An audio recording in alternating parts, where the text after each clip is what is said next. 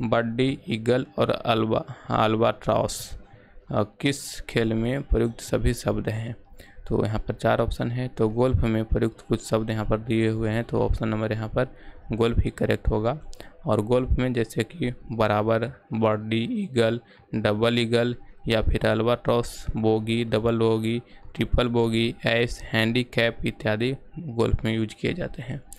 और बेसबॉल में कुछ शब्द दिए हुए हैं जैसे strike out base walk home run hit bat batter इत्यादि बेसबॉल में उपयोग किया जाता है।